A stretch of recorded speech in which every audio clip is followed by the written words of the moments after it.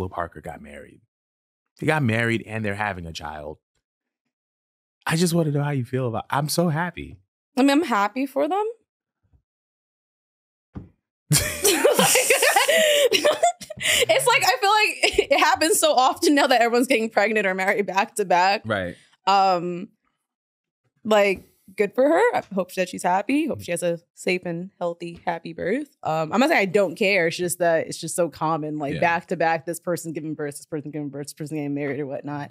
Um, makes me wonder, like, is she just like packing it up with like wrestling at this point, just Mhm. because she didn't have a lot of motion on the way out? Mm. And I mean, if that's the case, I don't blame her. If she just thought, if she just wanted to just go ahead and get married and have a kid, Mm. you know, I, I would like to see her come back if she can. Yeah. Um, but yeah, congrats, good for them. Didn't have that much to say on it, to be honest.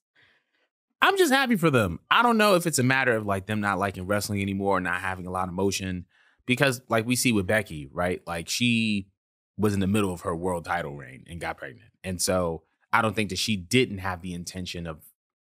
I think I don't think that she had the intention of like never wrestling again. It was just like I'm in a place in my life where I want to start a family, right? And I feel like Ruby is at that place in her life as well, right? Mhm. Like that's the thing that I'm realizing as a man that is now in his early 30s. Like men and women are just biologically different in the sense that like my biological clock is kind of like forever, and a woman's biological clock is not that long.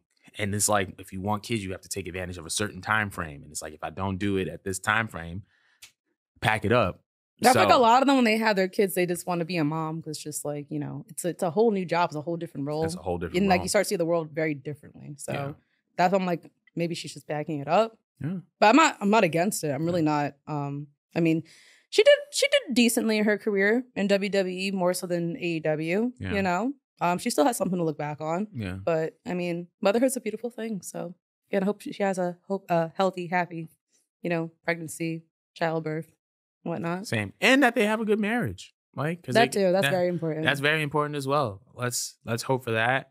But yeah, I just want to u- literally use that topic to say congratulations to them. But we're gonna be moving on because